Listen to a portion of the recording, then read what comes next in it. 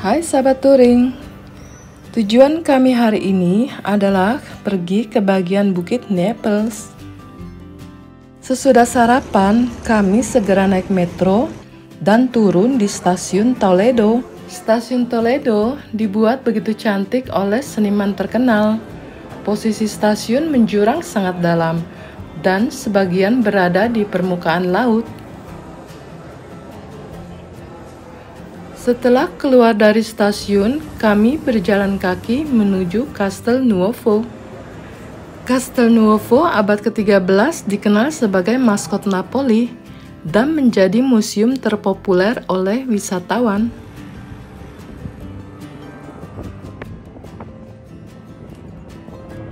Kami sempat menunggu 15 menit sebelum naik bis merah dan siap menjelajahi wilayah dataran tinggi Naples.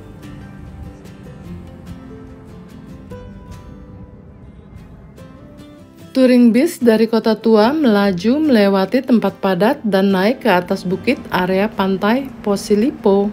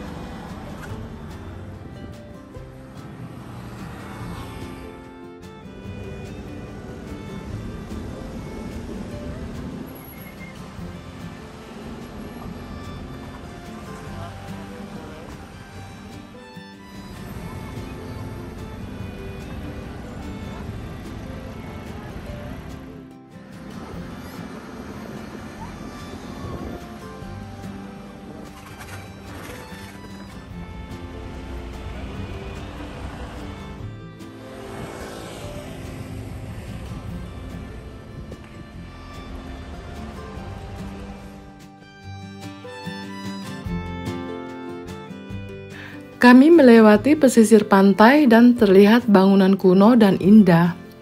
Yang menurut guide-nya konon bangsa Yunani membangun dan mentata wilayah tersebut kemudian ditinggalkan.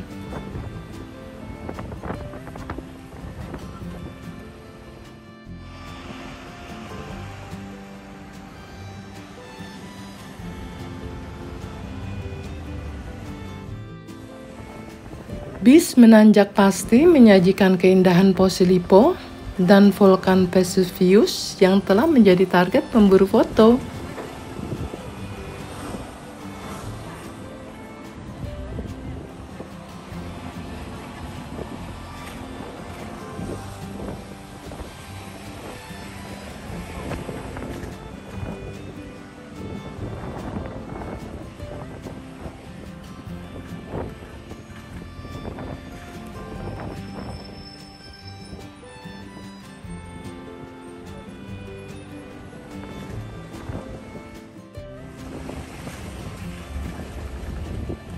Vesuvius, vulkan yang masih aktif dan pernah empat kali meledak, serta membuat banyak kerusakan tragis menelan ribuan warga.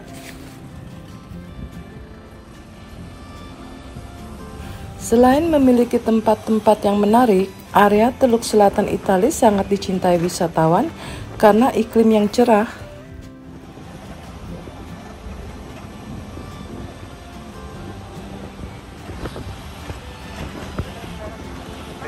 Maka pendapat kami Naples merupakan tempat liburan yang sangat menarik seperti kota-kota lain di Sisilia, unik, indah, cerah, dan ramah.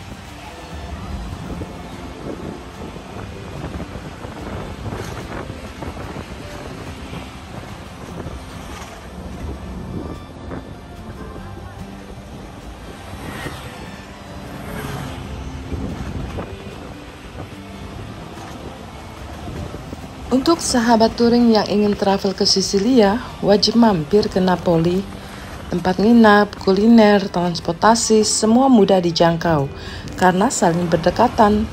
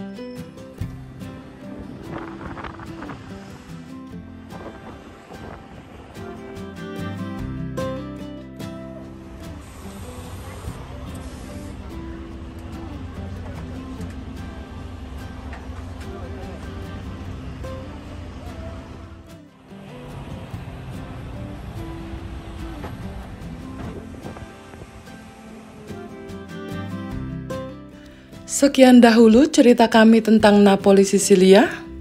So, sampai jumpa lagi di video kami berikutnya. Bye.